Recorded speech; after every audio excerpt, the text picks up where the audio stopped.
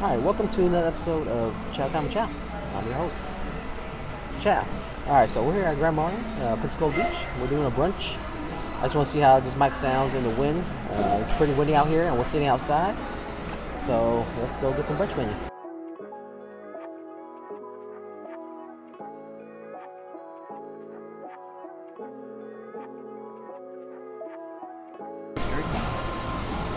Alright, so this is the chef's pastry.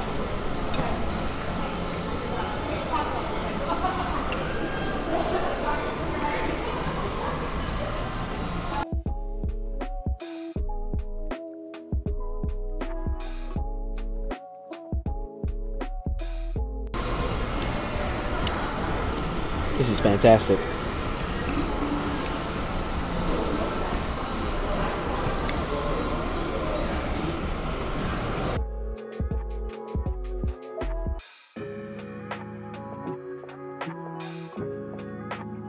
This is good though.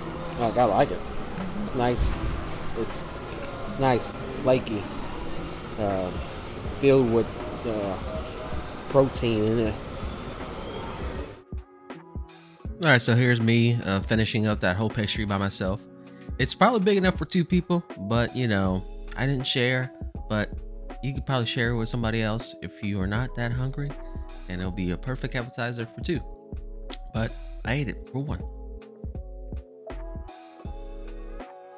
All right, as I finish uh, last few bites of that chef pastry, here's a view of my backside.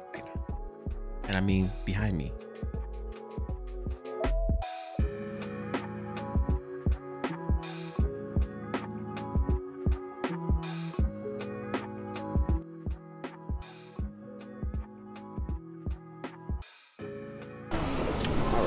So this thing looks massive.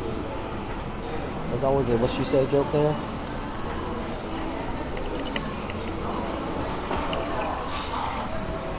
There, the camera went down. Uh,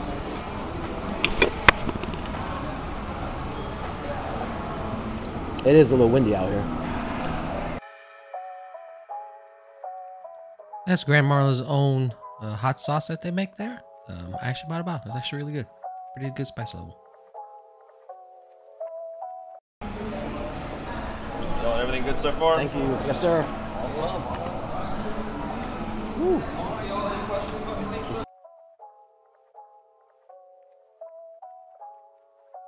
All right, y'all. Everything on the plate was fantastic. The tomato, the eggs, the grits, the country fried steak, uh, that little bit of hot sauce uh, from Grand Marlin for the eggs. Just, oh man, put it over the top. Make sure you guys get a chance to that. That was the chef special that day. Uh, hopefully they bring it back for brunch next time.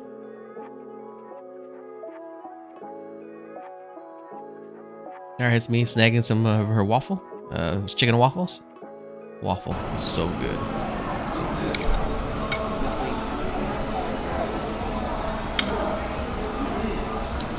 Thank you, madam.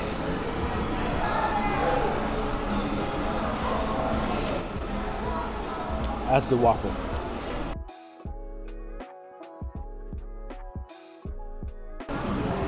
Don't even need the chicken. That waffle is just All right, y'all. Overall, this whole meal, 9.3 chows. 9.3. And that's what her chicken and waffle plate looked like. If you guys enjoyed, remember, it's always chow time.